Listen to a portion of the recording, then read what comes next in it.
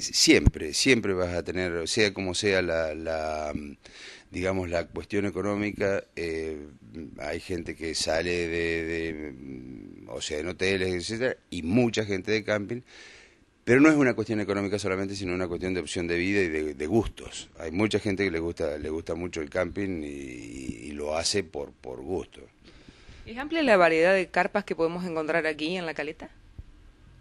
Eh, en realidad eh, hay eh, dos negocios en los cuales en uno tenemos una marca especial que hay varias varios y en el otro tengo muchas marcas entonces hay alrededor de, 700 800 modelos de carpa.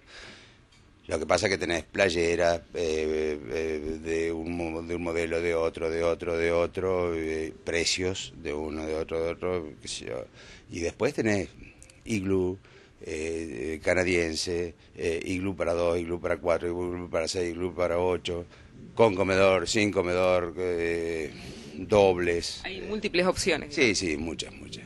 ¿Y cuál es la carpa que por ahí más sale en el mercado, aquí en la ciudad de Paraná? Eh, lo que pasa que es, es medio, no, no es algo puntual, todo, todo va dependiendo de, aparte depende del momento también, porque eh, carpas se venden absolutamente todo el año. Eh, lo que pasa que en diciembre y en enero se multiplica.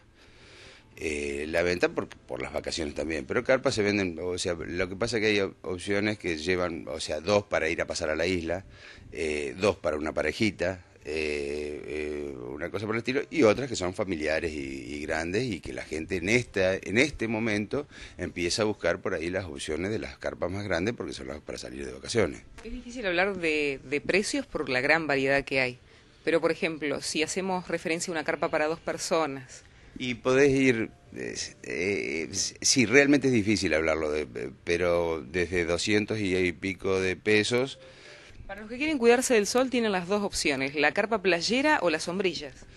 Sí, y de carpa playera hay de todo tipo. Y sombrillas eh, eh, eh, es una cosa que ya hoy es una cosa impensable casi salir al, sol, pero salir al sol los chicos que van con una lancha, la gente que va a, un balneario, porque ha cambiado tanto el, tema del si salís de una siesta y te das cuenta, no, no podés volver. ¿El precio más o menos de una sombrilla desde dónde arranca?